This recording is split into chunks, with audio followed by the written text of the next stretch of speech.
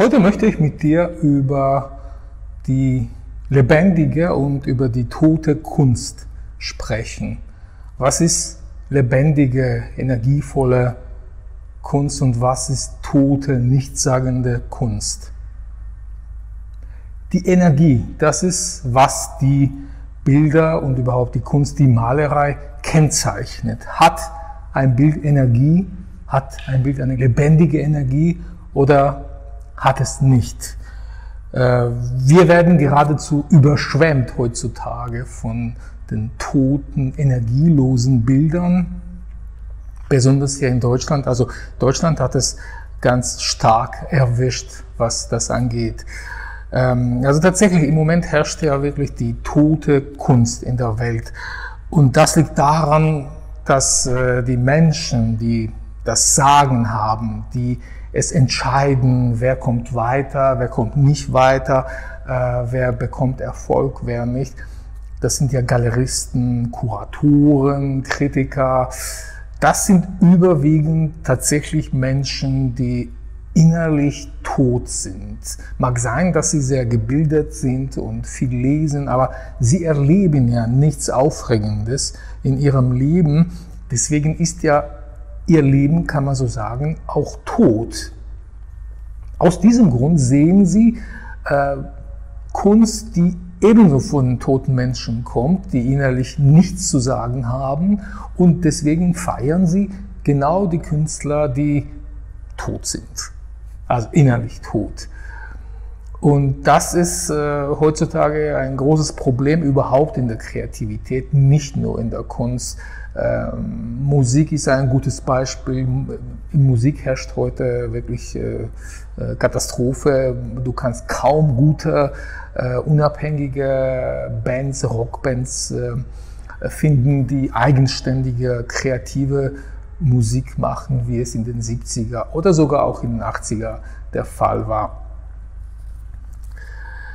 Ähm, diese Menschen, die darüber entscheiden, das sind kopflästige Menschen. Deswegen herrscht heutzutage auch besonders hierzulande diese kopflästige Kunst. Keiner versteht das.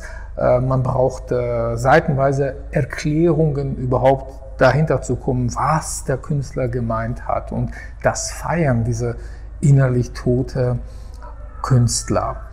Äh, und das ist nicht nur heute der Fall. Es war schon oft so in der Kunst. Aus der Vergangenheit zum Beispiel der gute alte Van Gogh. Seine Kunst war derzeit völlig voraus, in der er gelebt hat. Und ähm, diese energievolle, diese, diese ja, so lebendige, dynamische Bilder ähm, haben Menschen Angst gemacht. Die waren noch nicht so weit, es zu sehen. Schon gar nicht die Galeristen oder die Kritiker. Äh, die haben ihn belächelt. Ähm, ein anderer Künstler, Monet, sein Zeitgenosse, hatte großen Erfolg, ähm, weil Monet sehr schöne, wirklich wunderbare Bilder gemalt hat, aber er hat auch nicht diese Energie, was damals Van Gogh hatte. Es ist aber nicht immer so und es muss nicht immer so sein in der Kunst. Ein völlig gegenteiliges Beispiel ist äh, Jean-Michel Basquiat, das ist der Künstler aus den Spät 70er und äh, Anfang Mitte 80er. Der ist leider sehr früh gestorben, äh, mit 27, ein New Yorker Künstler.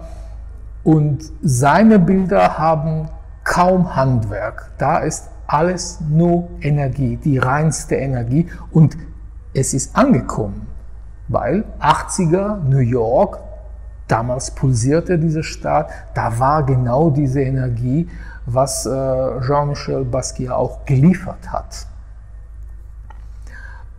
Heute hätte er, bin ich mir sicher, nicht diesen Erfolg, äh, den er damals gehabt hat. Ja.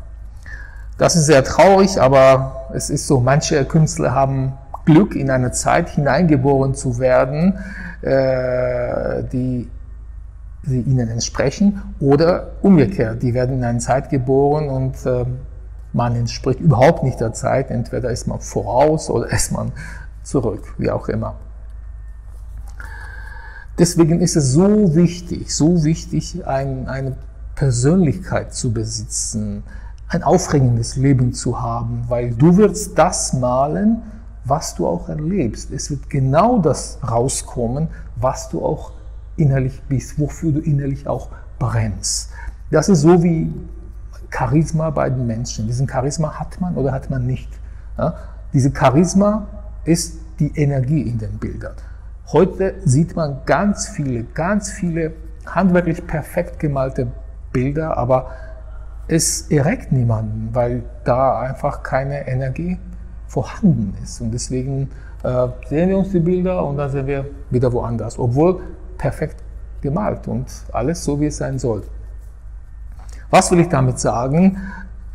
Das Wichtigste für uns alle ist einfach Leben. Leben mit allen Facetten, auf Risiko auch eingehen und nicht immer auf Sicherheit, Sicherheit. Wenn man zu sehr auf Sicherheit aus ist, als Künstler wirst du nur tote, energielose Bilder malen und damit wird man auch keinen Erfolg haben.